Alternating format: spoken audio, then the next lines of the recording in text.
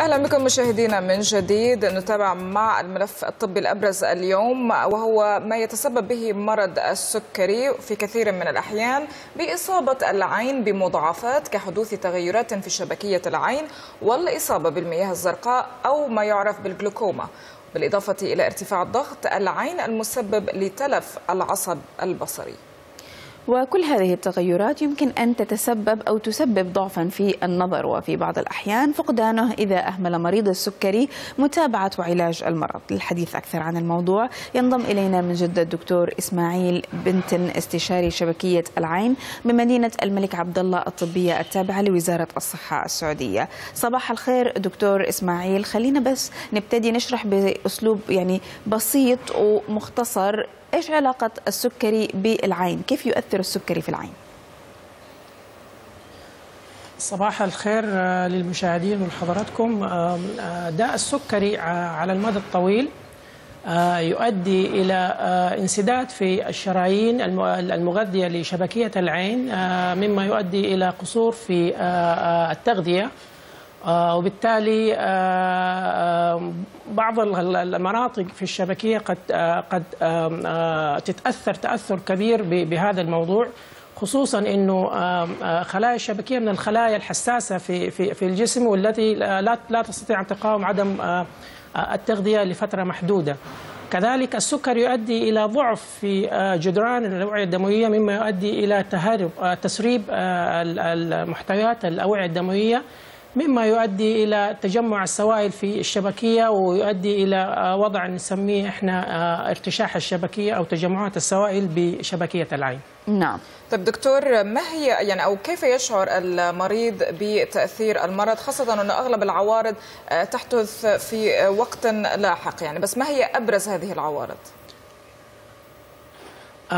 من العوارض المهمة اليومية اللي قد يشعر بها المريض تذبذب في في الرؤية وذلك لتذبذب مستوى الجلوكوز في في الجسم. فالمريض يشعر أثناء اليوم بتذبذب النظر. مرة يحس إنه نظره كويس مرة يحس إنه نظره مش كويس. كذلك قد يشعر المريض بازدواجية في النظر وذلك لقصور في عضلات المحركة للعين. نتيجة انسداد الأوعية الدموية أو الشعيرات الدموية المغذية لتلك العضلات. قد يشعر المريض كذلك بعدم رؤية الأجسام بصورة واضحة أو تعرجها وذلك لعدم استقامة سطحية الشبكية نتيجة لتجمع السوائل أو المواد الدهنية فيها. أخيرا قد يشعر المريض بآلام شديدة ذلك ناتج من ارتفاع ضغط العين الناتج من وجود أوعية دموية غير طبيعية في الجزء الأمامي من من العين وهو ما يسمى بالمياه الزرقاء. المريض قد يشعر بفقدان للنظر لوجود نزيف دموي سواء في الجسم الزجاجي أو على سطح الشبكية. أو بتغيرات المياه البيضاء التي قد تكون أعلى بنسبة أعلى عند مرضى السكري. أيوه. طيب دكتور إسماعيل هل معنى كلامك مثلا إنه كل مريض سكري الإصابة بأمراض العين عنده حتمية؟ آه نعم آه الدراسات أثبتت إنه آه بعد حوالي 15 إلى 20 سنة آه طبعا إحنا نعرف إنه آه مرضى السكري نوعين مرضى المعتمد على آه إبر الإنسولين والمرضى المعتمدين على الحبوب. على بعد بعد حوالي 20 سنة كل مريض معتمد على الإنسولين تقريبا من نسبة 95 إلى 100 إلى 99% من مرضى السكري توجد لديهم تغيرات في الشبكية. أما المرضى المعتمدين على الحبوب فهي النسبة قد تصل إلى 60 إلى 80 في المئة. طبعا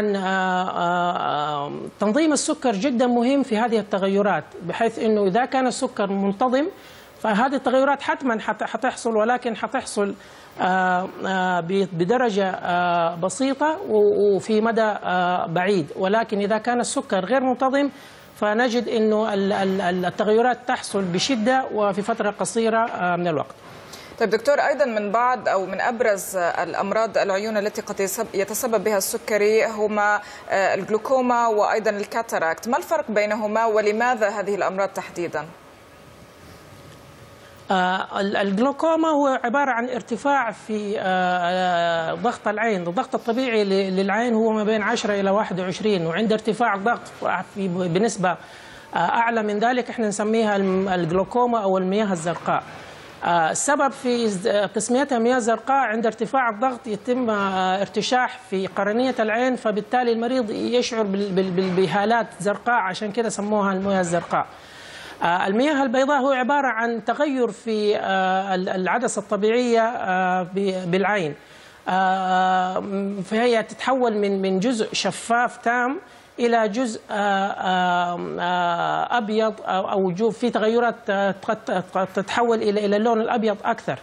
آه هذا هو الفرق. الناس بتقول مويه بيضاء ومويه زرقاء. الموية البيضاء عبارة عن تغيرات في آه شو اسمه؟ ال- ال- ال- ال- العدسة. الموية الزرقاء عبارة عن ارتفاع في ضغط العين. السبب آه ونسبة آه، الإصابة بها أعلى في في السكري نتيجة أول شيء ال- ال- ال- ال- ال- المياه البيضاء نتيجة تذبذب السكر آه، آه، في عدسة العين مما يؤدي إلى خلل في في تغذيتها. أما بالنسبة للمياه الزرقاء هو وجود أوعية دموية غير طبيعية في آه، زاوية العين الأمامية تؤدي إلى غلق مخارج العين فبالتالي يؤدي إلى تجمع السوائل داخل العين وارتفاع ضغط العين. أيوه. طيب آه، دكتور إحنا بنعرف إنه السعودية من أكثر الدول اللي بينتشر فيها مرض السكري. فمعناه كمان هذا أكيد إنه أمراض العين منتشرة بشكل كبير. هل هناك أي إحصاءات عن السعود- السعودية تحديدا؟ والله للأسف أنه حسب آخر إحصائية تمت في جامعة الملك سعود آه، أنه آه، المصابين بداء السكري آه، اللي هو النوع الثاني من داء السكري قد تصل نسبتهم إلى 17% وحسب آخر إحصائية أنه آه، حوالي 23% من البالغين مصابين بداء السكري. وعشان كده وزارة الصحة اهتمت بداء السكري وخصوصا أمراض الشبكية آه، وأمرت بإنشاء مراكز للعيون ل- لمتابعة دو- آه، المرضى. مدينة الملك عبد الله تعتبر من إحدى المراكز التي تم افتتاحها مؤخرا. والتي آه، تقوم بعلاج شبكيات أو أو علاج المرضى المصابين بداء السكري آه، وإجراء العمليات آه، آه، لهم وفحصهم ومتابعتهم ومحاولة تخفيف الأضرار الناتجة من داء السكري لديهم. آه، طبعا نتكلم عن مدينة الملك عبد الله اللي اللي موجودة فقط في المنطقة الغربية. أعتقد إنه في مراكز آه، عيون المملكة ال- ال- وزارة الصحة اهتمت بانشائها في المنطقة الوسطى وكذلك في المنطقة الشرقية. نعم. دكتور دائما بالطبع الوقاية خير من العلاج فعند مرضى السكري بالطبع آه، ال- النصيحة هي ب آه، يعني أو ما هي النصائح التي يجب اتباعها من ناحية وقائية قبل أن نتحدث عن آه، سبل العلاج أيضا المتوفرة لأمراض العين؟ هو ال- ال- ال- حسب ال- ال- النصيحة الطب- النصيحة العالمية يفضل أنه عند تشخيص المرض طبعا يعتمد ال ال ال ال ال ال إذا كان السكري من النوع الأول المعتمد على الأنسولين يفضل الفحص شبكية العين بعد آه، حوالي ثلاثة إلى خمسة سنوات من آه، آه، تشخيص المرض. أما إذا كان ال- ال- المريض يعاني من داء السكري النوع الثاني فيفضل الفحص مباشرة لأنه ما ندري ما ما نعرف إحنا السكر كان جالس معاه كم فترة هو ما يدري. أو تم اكتشاف بعض الحالات لداء السكري من خلال فحص العين فقط. كذلك آه، بعض الأوضاع الصحية قد تؤدي أو تؤدي إلى إلى إلى تدهور حالة السكر عند المرضى. مثلا آه، آه، فترة الحمل يؤدي إلى تفاقم تغيرات السكر عند عند ال- النساء الحوامل أو أو الرغبة في إجراء أي آه، عملية بالعيون. الوضعين هذولا يؤدي إلى يؤدوا إلى إلى ارتفاع أو أو تغيرات شديدة في في في في مستوى السكري في في في في, في, في العين. فيجب آه، متابعة هذول المرضى قبل وأثناء وبعد آه، الاوضاع المذكورة. طيب في حال أصيب مريض السكري بأمراض في العين هل هناك علاج تام؟ هل هناك شفاء؟ أم أنه الموضوع هو بس يكون عن أنه إنقاذ ما يمكن إنقاذه ويعني تدارك الموقف فقط؟ طبعا هو من مبدأ إنه أي تغيرات للشبكية آه، بالنسبة للسكري آه، من الصعوبة إنه الواحد آه، يرجع ال- ال- ال- الموضوع كما كان.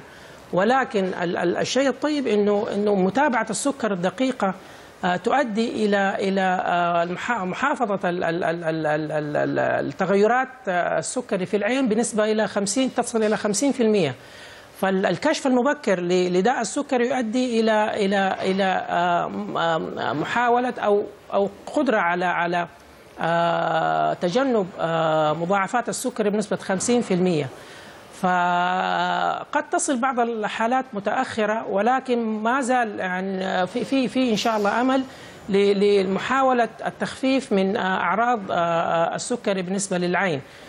طبعا هذا ما يتم إلا بوجود اللي هو الأجهزة الحديثة من من من أجهزة ليزر من توفر أدوية لعلاجات العين مثل الإبر المختلفة لارتشاء لعلاج ارتحات الشبكية نعم. كذلك الأجهزة المتطورة في علاجات أو أو إجراء الجراحات الشبكية نعم. وهذا الحمد لله كلها متوفرة في في مستشفى المراكز الطبية لوزارة الصحة وخصوصا في مدينة الملك عبد الله الطبية.